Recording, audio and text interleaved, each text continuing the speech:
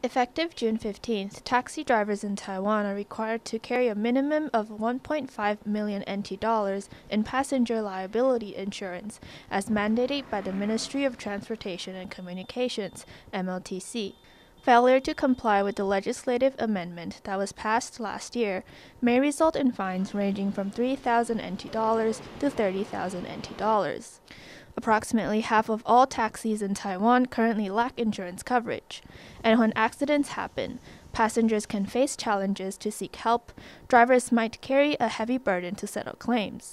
According to data from the MOTC, there are 91,000 taxis in operation, half of which are part of a fleet. The responsibility for paying the premium for passenger liability insurance lies with the fleet operators. As a result, individual taxi drivers need to secure separate insurance coverage.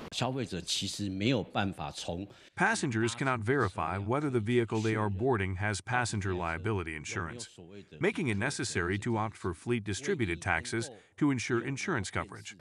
Despite ongoing efforts, the representative from the Taipei Taxi Drivers Union expresses doubts regarding the completion of insurance coverage for all taxis before the June 15th deadline.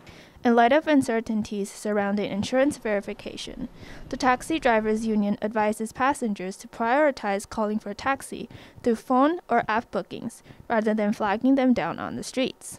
By opting for prearranged services, passengers can help safeguard their rights and interests during their taxi journeys. Ling Li, He Jiayang, Jamie Lin Pinzon, TVBS World Taiwan.